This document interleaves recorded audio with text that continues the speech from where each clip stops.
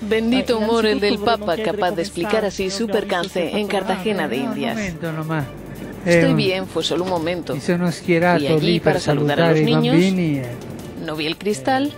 No he visto el vetro y ¡pum! Explicó en el avión de vuelta de Colombia.